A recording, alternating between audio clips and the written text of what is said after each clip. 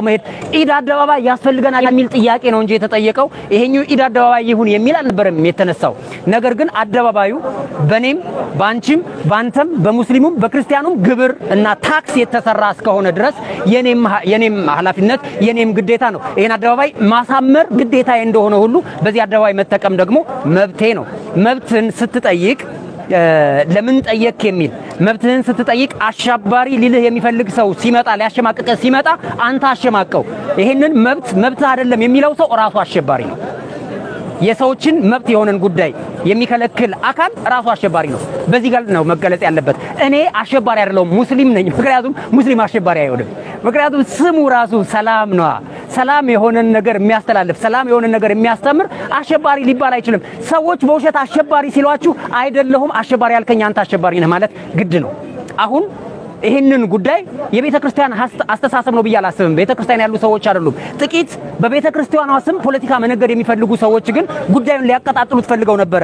እናውቃቸዋለን እኮ ሙስሊሙን አንገት አንገቱን በገጀራ ቁረጠው የሚል ሰው በምን ሞራሉ ነው ዛሬ መጥቶ አብዮት አደባባይ የኔ ብቻ ነው የሚለው?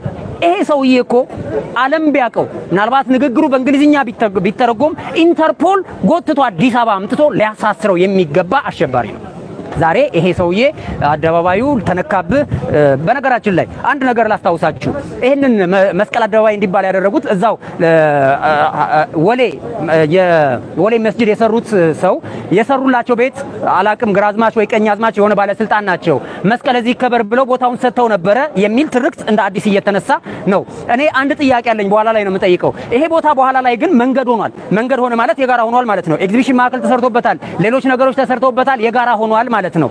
ይሄንን መስቀል አታክብሩበታል፣ መስቀል ይከበርበታል። ነገር ግን የኔ ነው የሚል ንብረት የሚያስካሄድ ከሆነ አቢሲኒያ ባንክ ሲቋቋም አቢሲኒያ የአሁኑ ብሔራዊ ባንክ ሲቋቋም ኃይለስላሴ ገንዘብ አጥሮት ማን ገንዘብ እንደሰጠ ታውቃላችሁ? ሼዎጆሌ ሼዎጆሌ የአቢሲኒያ ባንክ ወይም የኢትዮጵያ ብሔራዊ ባንክ ግማሽ ሀብት የሳቸው ነውና ይሄ ባንክ ኢስላማዊ ባንክ ይባል የሚል ጥያቄ ማንሳት ነበረብን ወይ? ነገር ግን አይደለም። ሾጀሌ ለኢትዮጵያ ብለው ነው ያደረጉት። ስለዚህ እኒህም አባት ለኢትዮጵያ ብለዋል። ያ የተነሳው ሀሳብ ፉርሽ የሚሆን ነው። እናመሰግናቸዋለን ግራዝማችን ለመስቀል አክብሩበት ብለው ስለሰጡ። ነገር ግን አደባባዩን በጋራ አልምተነዋል፣ ሰርተነዋል። ደርግ እኮ ቀይ ሽብርን ለማፋፋም ያችን ቀይ ጠርሙስ ታስታውሳላችሁ? ቀይ ቀለም ያላት ጠርሙስ የወረወረበት ቀይ ሽብር ሰዎችን እንገድላለን ብሎ የወረወረበት ቦታ እኮ ነው። በቅርቡ እኮ ቦምብ የፈነዳበት ቦታ ነው። ሰኔ 16ን ማንሳት